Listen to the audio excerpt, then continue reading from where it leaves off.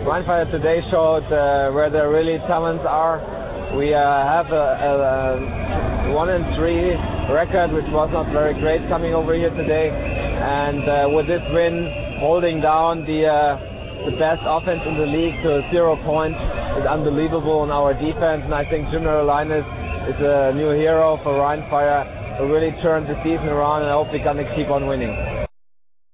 Uh, well, that's not my decision. I think the coaches have to make the decision, but I can't see him sitting on the bench next week when he just does a performance like today. Well, we just concentrate on the very next game, which is uh, in Amsterdam. It will be tough enough. I think we never ever won in Amsterdam so far, so far. So we have to break this uh, uh, series and uh, hope we're going to win over there. And then we're going to talk about the next game, and hopefully we win one after the other. Well, today for sure, Jim Arellanes. I think uh, uh, Tyron Williams does an excellent job on defense line, who already has six sacks. And um, well, I think those are the two players to mention.